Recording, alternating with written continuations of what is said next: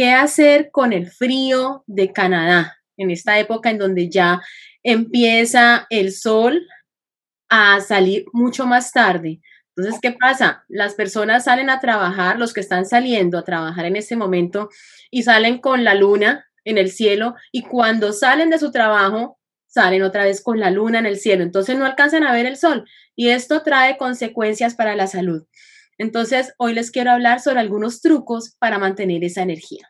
Bueno, lo primero que deben tener es una actitud positiva.